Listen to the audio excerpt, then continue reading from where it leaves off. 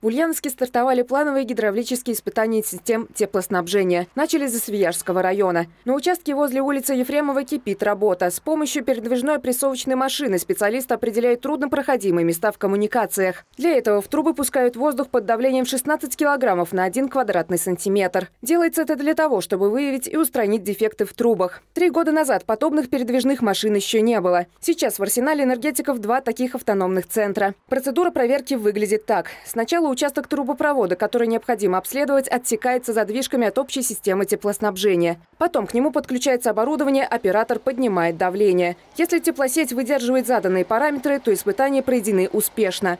Мы практически ушли от испытаний централизованно от станций, прежде всего с целью увеличения качества этих испытаний. Чем короче участок, тем качественнее э, итог проведения гидравлических испытаний, ну и, соответственно, с тем, чтобы локализовать систему.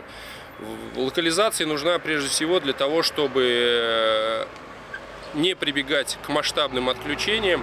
В этом году мы заявили о том, что ни один потребитель не будет отключен более чем на 7 дней. До появления прессовочного центра трубы обследовали при помощи стационарного оборудования, находящегося на ТЭЦ-1. По Ульяновской области испытывают 978 теплоисточников. Коммуникации в разном состоянии, но на тех участках, где энергетики их заменили недавно, вопросов и опасений не возникает.